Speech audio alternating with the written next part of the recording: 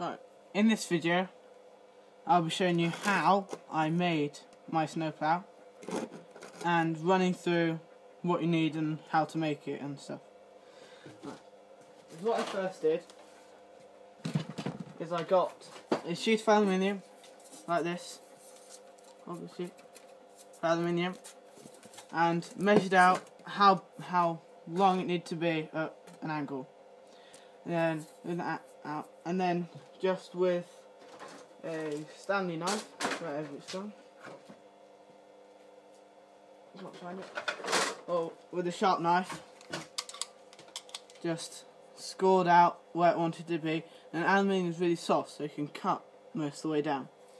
And after I cut out the shape, just just bent it to make it snap out to the final little bit.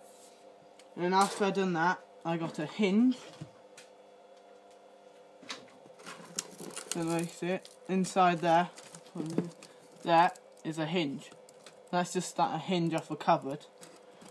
And I just got two holes and screwed it on to the front bit. And then I got another piece, and cut it out like this. An angle like that. And what I did is drill two holes and attached it on top of the bumper there. And then you attach those those three holes there for the hinge. But is what I did is I decided not to use this one and make it longer.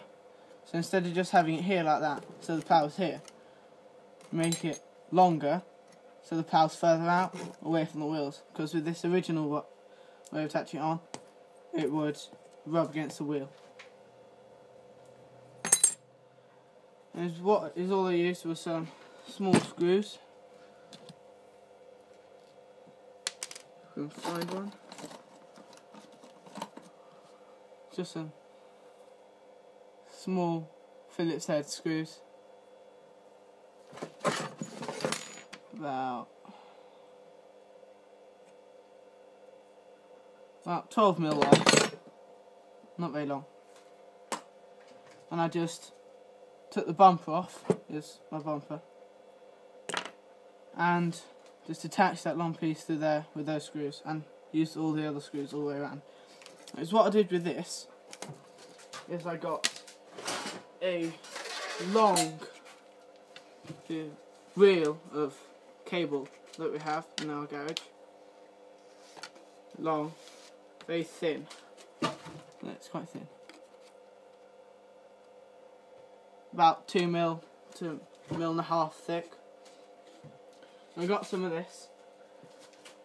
I cut off the amount I wanted, and then got some. I've got a large reel of copper tubing, copper pipe, and then just cut off about one fifteen mil of it.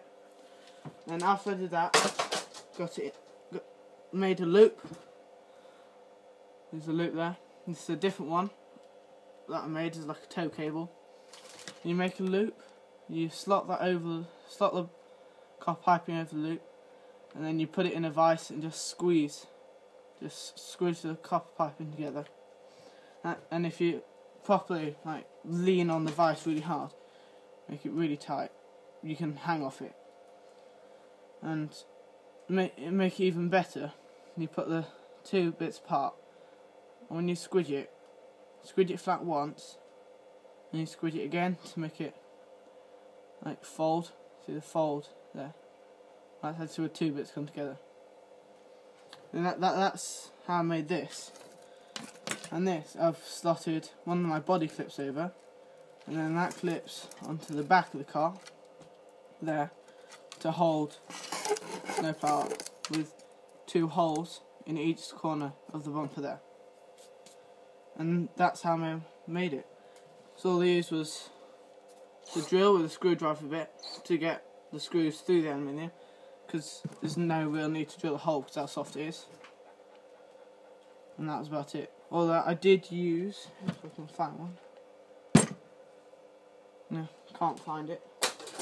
I, it's like a very pointy bit of shaft of metal and then just hit it with a hammer to make a dent in the aluminium so that the screw is screwing. You can also use just a nail to make a hole or even just a really small like really small nail. And that's how I made it. Really easy. Took about 20 minutes. Well, it took about an hour for me but I had to figure out how to use it. You'll have to use it differently for different cars but with the FTX Vantage the bumper hole is perfect for just sticking this on. So thank you for watching and see you next time